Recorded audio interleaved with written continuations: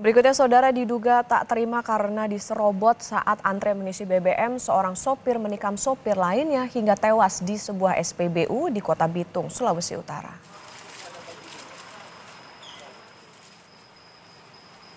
Penembakan terjadi di SPBU Manembo Nembo, Kota Bitung.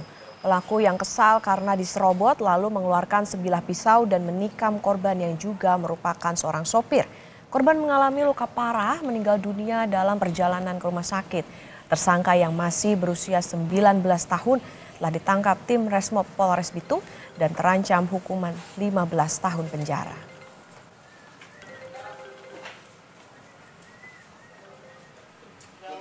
kronologis kejadian berawal dari kesalahpahaman pada saat mengantri BBM di SPBU di Kota Bitung uh, dari informasi dari keterangan yang didapatkan dari tersangka, korban mengambil antrian dari tersangka.